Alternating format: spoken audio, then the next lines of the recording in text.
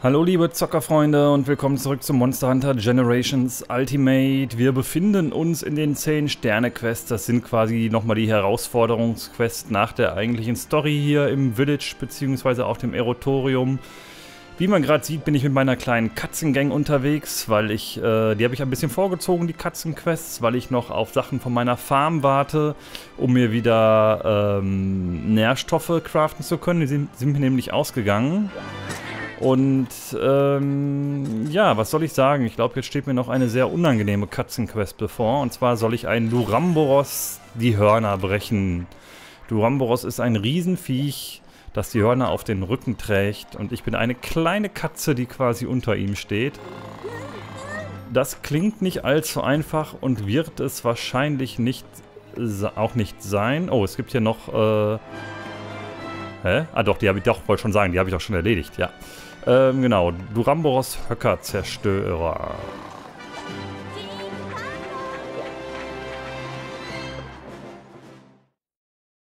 Na, Kumpel, immer noch Lust, ein paar Körperteile klein zu machen? Dachte ich mir doch. Wie wäre es denn mal mit einem Duramboros-Höcker? Ignoriere den Schwanz, darum geht es diesmal nicht. Also wirf einen Duramboros um und ran an die Höcker.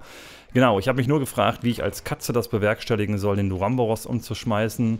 Klar, ich muss äh, luftige Attacken auf ihn machen, damit er irgendwann umfällt. Man kann von Kanten abspringen. Aber ich habe mir nochmal das Moveset der Katzen ein bisschen angeguckt und dabei ein, zwei neue Sachen gelernt. Erste neue Sache tut nichts zur Sache. Ja, aber ich kann dieses komische Wheel schneller ausführen, indem ich erst indem ich erst diese Attacke mache und jetzt müsste er schon, genau, das Wheel direkt machen. Normalerweise brauche ich ja fünf Attacken dafür, wenn ich einfach den X-Knopf durchdrücke. Eins, zwei, drei, vier und fünf. Wenn ich aber die erste Attacke mit dem R-Knopf mache, macht er ja generell schon mal so einen Aufwärtsschwinger und dann ist die dritte Attacke nämlich das Wheel. Das wusste ich noch nicht, tut aber hier nichts zur Sache. Dann habe ich noch eine neue Attacke kennengelernt. Die macht in der Tat Luftschmeißen. Und das muss ich jetzt mal ausprobieren. Erst den Bumerang werfen. Zack. Genau. Und dann hinterher düsen. Bam. Ja, yes, das soll angeblich Luftschaden machen. Damit soll man ihn relativ einfach äh, umschmeißen können. Ansonsten waren noch ein paar Tipps dabei, wie ähm, Fallen benutzen, wenn man halt eine Katze hat, die Fallen stellen kann. Das ist ja eine meiner Begleiterkatzen. Ähm, Blitzbomben und die Rage-Katze, keine Ahnung, welche das genau ist. Ich habe auch mittlerweile rausgefunden, was dieses komische rote Zeichen ist, was ich manchmal über meinem Kopf habe. Dann ist die Katze nämlich im Rage-Modus und hat auch nochmal ein bestimmtes neues Moveset.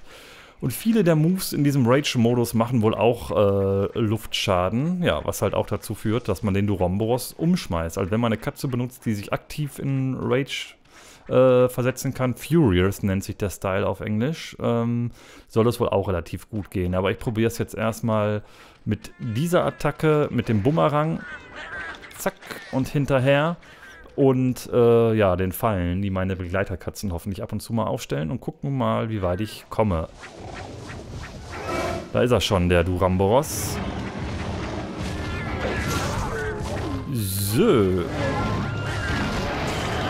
Ach shit, jetzt hat es schon mal nicht geklappt, weil ich gerade hier rumkauer, natürlich. Okay, okay, okay. Oh Gott, oh Gott, oh Gott. Das ist ja natürlich alles sehr verzögert mit meinem Bumerang.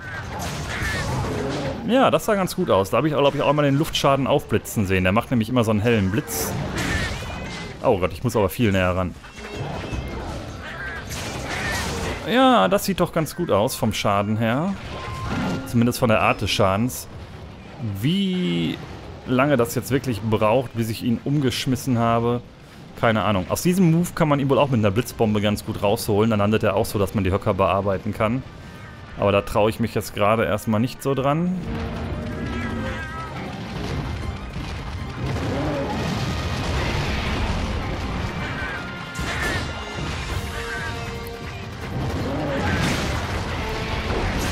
Oh ne, das war nicht schnell genug.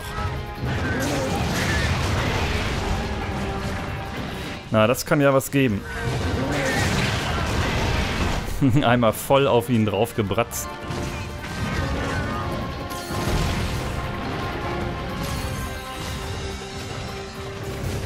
So. Das ist echt eine eklige Quest, aber in letzter Zeit sind ja alle Quests ekelig, wo man Monsterteile, äh, wo man Monsterteile abbrechen muss als Katze. Ich bin echt mal gespannt, ob das klappt, ob der gleich mal irgendwann liegt, aber ich gehe eigentlich fast davon aus. Weil vom, vom, vom Schadenssymbol sieht es echt ganz gut aus. Hoppla. Aber gut, das ist jetzt das erste Mal umschmeißen, da ist er eh empfindlich gegen umschmeißen. Dann frage ich mich ja doch, wie lange das später nochmal dauern soll, wenn ich ihn irgendwie noch ein zweites oder drittes Mal umschmeißen muss.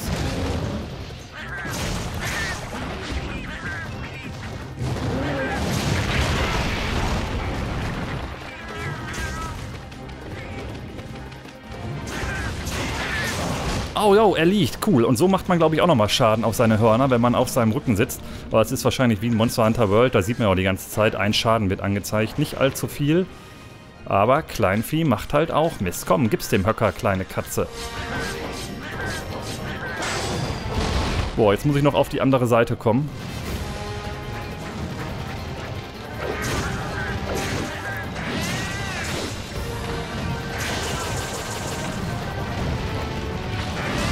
Naja, immerhin hatte ich ihn einmal umgeschubst. Also es funktioniert immerhin, was ich hier tue. Das ist schon mal die gute Nachricht. Ich weiß nur nicht, wie lange es jetzt hier wirklich dauern wird, bis das nochmal klappt. Dass ich ihn hier umgeschmissen habe, weil das beim ersten Mal hat schon einige Bumerangs gekostet. Und wie gesagt, da war er noch empfindlich gegen äh, Umwerfen. Das ist er jetzt nicht mehr.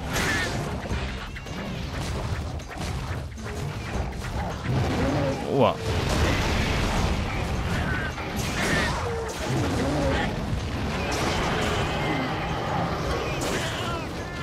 Aber Geduld ist ja meine Stärke. Von daher überhaupt kein Thema.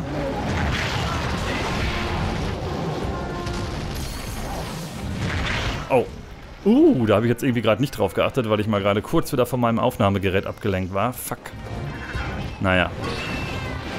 Gibt Schlimmeres als eine Eichel zu schlucken.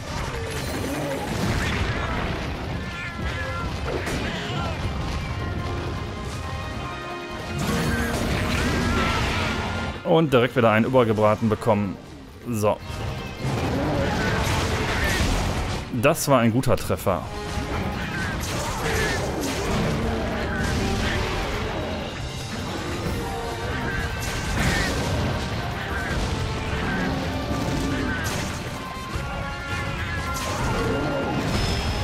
Aua. Das Gute ist, man kann ja auch als Katze dreimal ausweichen hintereinander, relativ schnell. Das hilft auch gut, um von ihm wieder wegzukommen. Wow.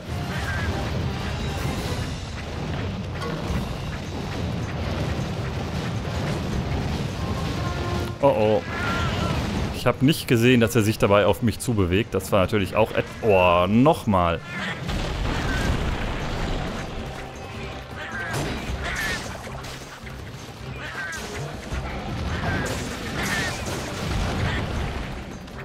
Aber ich finde doch, dass mich diese Katzen mal heilen könnten. Da kommt schon die erste Heilung. Oh nein!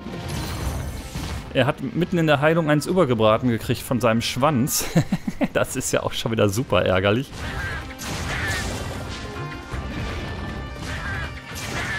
Ah nein, doch, das hat auch gerade noch getroffen. Aber ich habe eigentlich ein ganz gutes Gefühl. Ich finde, es läuft eigentlich ganz gut. Aber ob das jetzt noch zwei oder drei Stunden dauert, kann ich natürlich auch nicht so ganz genau sagen. Könnte auch echt mal so eine große Heilung von meinen Kollegen hier gebrauchen. Sowas zum Beispiel, genau.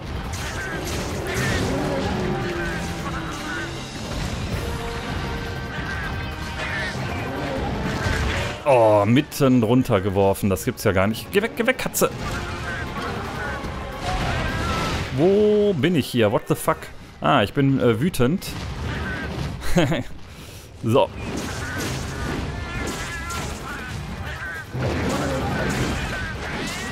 Aber ich glaube, ich bin so lange wütend, zumindest eine Zeit lang, bis ich irgendwie dodge oder so. Aber wo jetzt hier genau der Luftschaden herkommt, habe ich noch nicht so ganz verstanden. Und die nächste Eichel.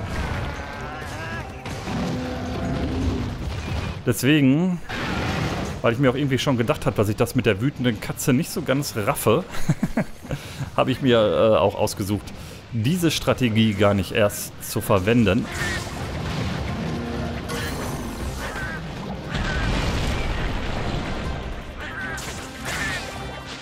Aber ich habe überall gelesen, mit so einer Furious-Katze ist das völlig easy. Aber ich habe es nicht so ganz gerafft, ehrlich gesagt, wie es funktioniert. Und das war, glaube ich, auch ganz gut gewesen. Ich mache es lieber so, auf die langsame Art. Ui. Wenn, das die, wenn die Furious Art überhaupt die schnelle Art ist, keine Ahnung.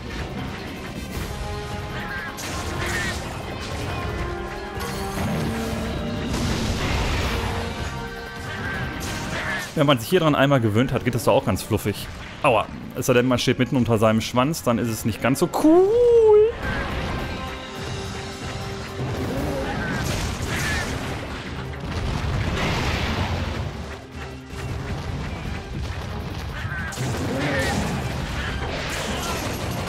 Oh, das war jetzt gar nicht so geplant.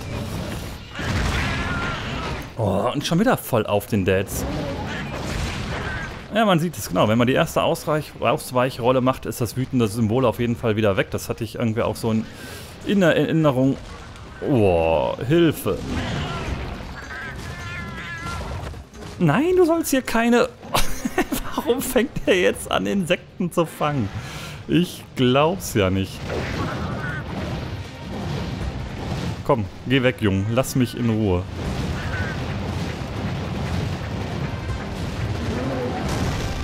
Okay, ihn zieht's nach da hinten hin, dann nichts wie hinterher. Ah, voll dran vorbeigecharged.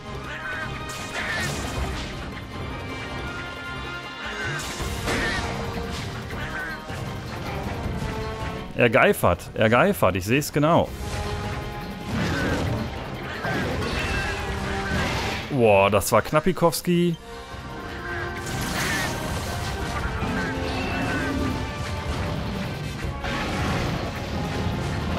Oh Gott, er macht schon wieder seinen Dreher. Aber da liegt eine Falle.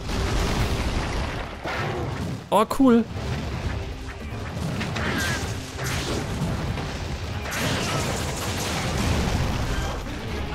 Hat sie ihn irgendwie wieder auf die Beine gebracht, was ich hier gemacht habe, oder wie? Keine Ahnung. Wo ist die Falle? Hier ist die Falle. Komm mal hier hin, mein Freund.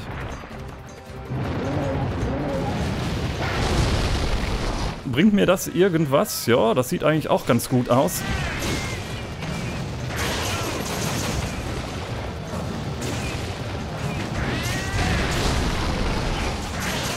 Naja, die letzten haben jetzt nicht mehr gereicht, um seinen Höcker zu bearbeiten.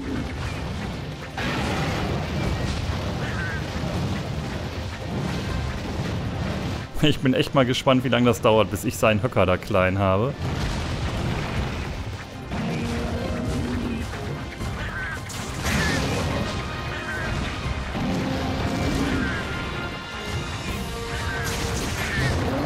Au, wow, wow, wow. Dass er in dem Moment seinen Kopf zurückzieht. Das war natürlich auch schon wieder fies gewesen. Okay, wenn ich jetzt sterbe, bin ich auf jeden Fall im Lager. Da wäre echt eine Heilung nochmal ganz cool, Jungs.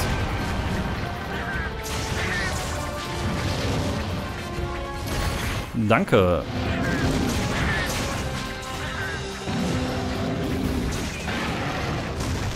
Oh nein! Oh, das war knapp. Und er liegt schon wieder und wieder auf die Höcker. Komm, Junge.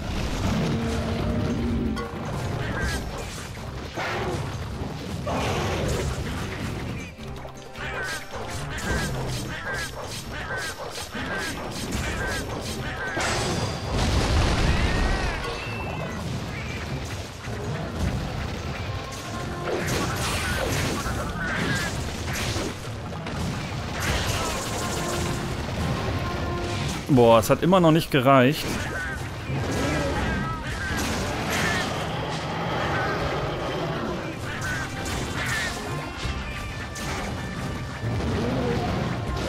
Puh. Aber es war mir schon klar, dass das ein bisschen anstrengender und aufwendiger wird und nicht von jetzt auf gleich erledigt ist.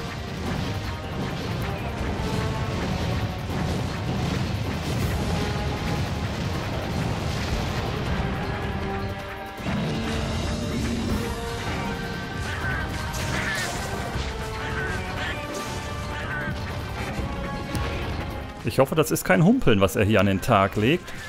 Das fände ich doch extrem scheiße, aber ich glaube, es ist nur sein normaler Gang, oder?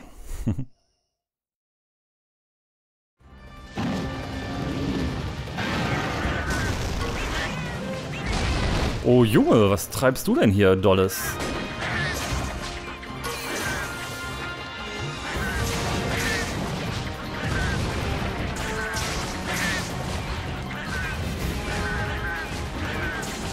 einen Rückwärtsgang ein, das ist auch immer geil.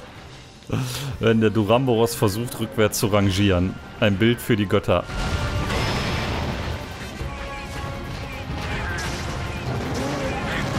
Aua. Das hätte beinahe gesessen, aber nur beinahe.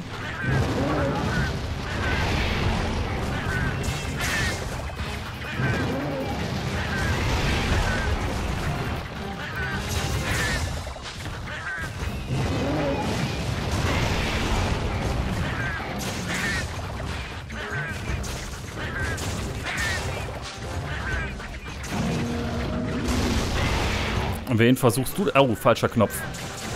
Äh, nee, das war jetzt doch... Ich habe ihn irgendwie einmal getroffen.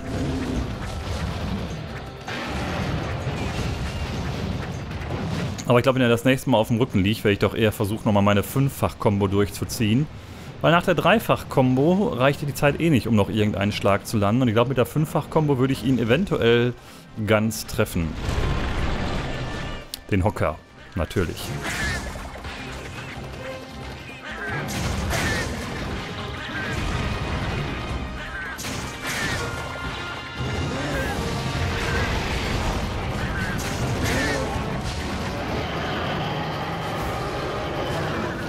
Oh, er ist wütend. Wütend ist nie ein gutes Zeichen.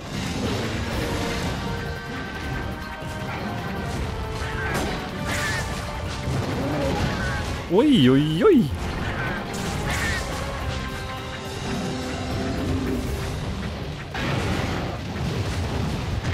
Ach, schade. Ich dachte, ich stehe weit genug unter ihm, um ihn irgendwie die Beine angreifen zu können, weiter mit Luftattacken. Aber das war leider nicht der Fall gewesen.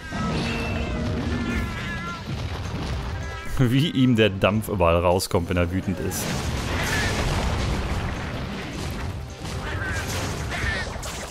Naja, den Schwanz nochmal erwischt. Was macht er da für Anstalten? Ah nein, falscher Knopf. Shit.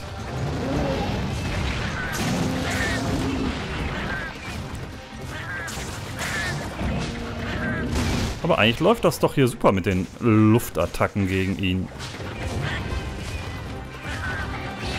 Und er wechselt schon wieder das Gebiet. Ich weiß nur nicht, ob ich das alles hinbekomme, bevor er letztendlich drauf geht. Da bin ich mir gar nicht mal so sicher.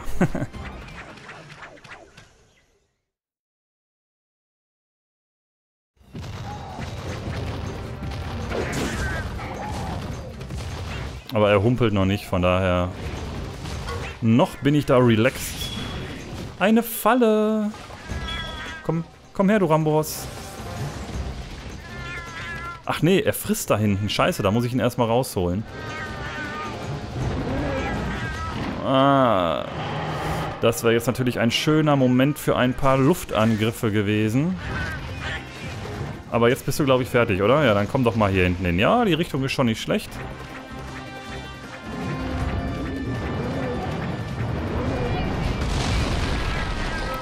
Ah, nein, ein Millimeter zu wenig. Ah, jetzt ist er drin. Sauber.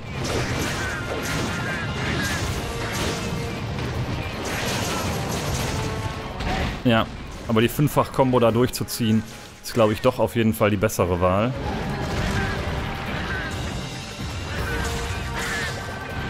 Ich schätze mal, auch von meinen Luftattacken sollte er ja bald mal wieder liegen. Ah, es hat mich einmal erwischt, aber ich bin noch drin.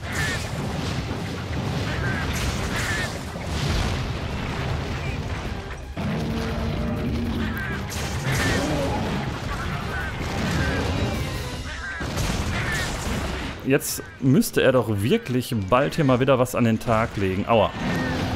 Und wenn es geht, nicht seinen Schwanz auf meinem Kopf, sondern selber einfach mal am Boden liegen. Ja, ich bin schon wieder ausgeflippt. Wenn ich mal wüsste, was man hier jetzt genauer machen muss wenn er ausgeflippt ist. Weil so sieht es mir eigentlich nach ganz normalen Attacken aus. Er hat auf jeden Fall diese Wischattacke.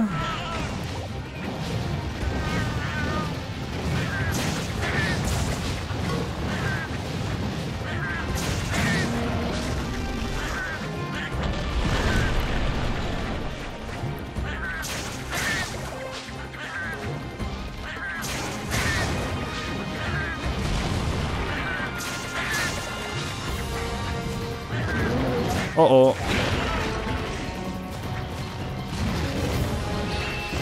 Ich könnte auch mal wieder das hier rausholen. Das macht mir habe ich mal nachgeguckt, auch noch mal ein bisschen mehr Schaden. Nee, das hat aber nicht gereicht. Oh oh, ich glaube, er haut mich schon wieder um. So, der Buff ist auf jeden Fall raus, aber er moscht mich einmal.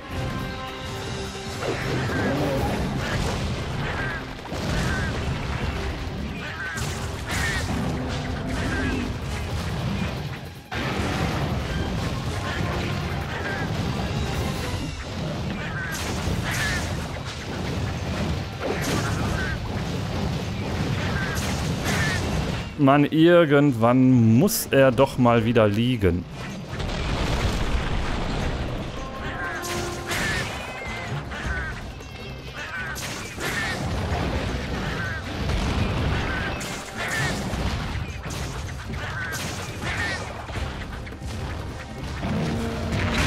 Oh, ich glaube, der Durumberos selbst ist auch wieder wütend. Oh, oh. Ich glaube, jetzt gehe ich drauf. Ah, ne, doch nicht.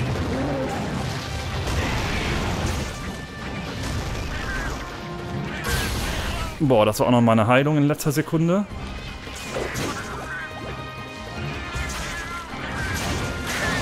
Und er liegt wieder. Sehr schön.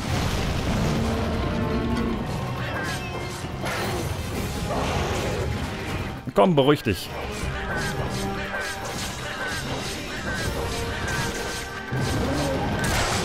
Ja, es hat gereicht. Ich habe das Hauptziel erfüllt. Sauber. Ja, ich muss sagen, ich glaube, ohne mich ein bisschen zu informieren, hätte das nicht so gut geklappt, aber vor der Quest hatte ich ja echt ein bisschen Bammel, wie ich das überhaupt so alles hinbekommen soll.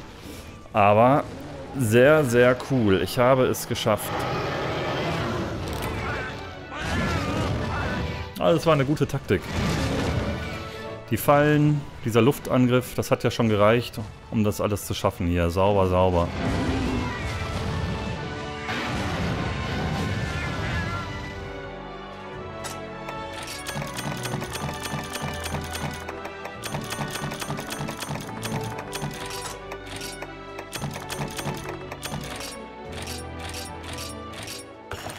Ja, sehr nice.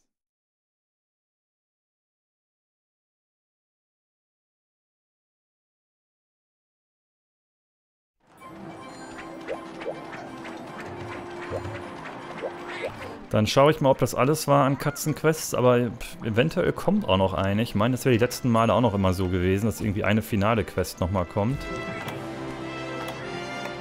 Ah, nee. Oh, sehr gut. Alle Katzenquests geschafft. Und keiner, der mich dafür irgendwie mal, der da mir irgendwie ein Wort des Lobes für mich übrig hat, ne? Es ist echt eine Unverschämtheit. Man macht die Quests einfach so und keiner weiß es zu schätzen. Aber ich fühle mich in meiner normalen Form, ich bin in meiner normalen Form zurück und fühle mich natürlich gleich wieder sehr viel besser. Und ich müsste hier auch mal das Zeugs abholen können. Genau, was ich bestellt habe. Götterkäfer Honig Honig.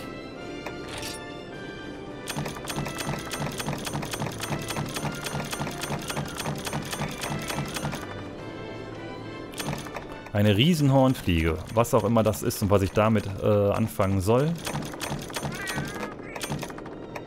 Von diesem Insektenschrott hier Schmetterlingskäfer müsste ich auch so ungefähr unendlich haben mittlerweile. Warte mal, da steht's ja. Ach ja, in der Truhe sind 999 oder zumindest mehr, wird nicht angezeigt. Keine Ahnung, ob noch wirklich mehr in die Truhe geht oder ob der Rest dann einfach verschrottet wird. ich kann es nicht sagen. So, ich gehe jetzt erstmal gucken, wie viel Tränke ich hier brauen kann, wie viel äh, Mega-Nährstoffe. Und danach entscheide ich, was ich weiter in meiner Farm anbaue. So, erstmal normale Nährstoffe. Auf jeden Fall schon mal 60 Stück. Mega-Nährstoffe dann wahrscheinlich auch entsprechend. Und dann werde ich nochmal ein paar Götterkäfer auf Vorrat anbauen. Blaupilze habe ich ja eh noch genug. Aber ich schätze mal, wenn ich nochmal so zwei Rutschen Götterkäfer mache, habe ich so 120 Götterkäfer. Das heißt, dann bin ich auch mit, mit Mega-Nährstoffen erstmal ausgefarmt und brauche auch immer noch keine Pilze. Mein Pilz könnte ich zur Not auch anbauen, aber das muss ich noch nicht. Eher weiter Honig und Götterkäfer.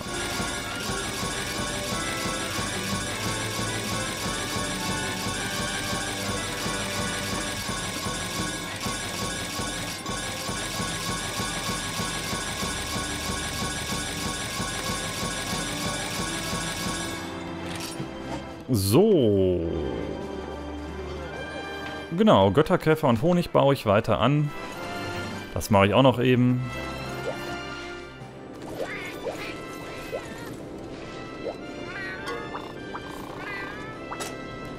Händler, Objektbestellung. So, Götterkäfer. Sehr gut. Ne, der ist ausgepowert. Nehmen wir den, genau. Zehn Runden. Und noch einen großen Extrapfel dazu. Hier stellen wir auch nochmal auf Götterkäfer äh, um. Der ist auch gut. 10 Runden. Und Extrapfel dabei. Und du kannst auf Honig bleiben. Muss nur den richtigen Kameraden erwischen. Er ist auch ausgepowert, er nicht. Sehr gut. Und auch noch ein großer Extrapfel. Und zack ist die Farm auch wieder auf Kurs. Muss ich sonst noch irgendwas machen? Ich glaube nicht. Jetzt noch irgendwas Neues anzufangen, lohnt glaube ich nicht. Ich beende die Folge an der Stelle mal. Beziehungsweise ich guck mal nächst, ich, guck, ich schaue noch mal kurz äh, rein, was mich nächste Mal erwartet. Dann kann ich mich darauf schon mal vorbereiten. Den Controller wechseln kann ich auch noch mal zwischendurch. Ein Dämonio nochmal erjagen, der alles Verschlingende. Habe ich das nicht letztens erst gemacht? Nicht, dass das wieder so eine Quest ist, die beliebig oft auftaucht. Die Enteignung. Ne, ich glaube nicht. Dämonio und zwei Bariotte. Boah, zwei Bariotte wird auch eklig werden. Aber egal. Das schauen wir uns dann später an. Ich sage an dieser Stelle erstmal vielen Dank fürs Zuschauen und bis zum nächsten Mal.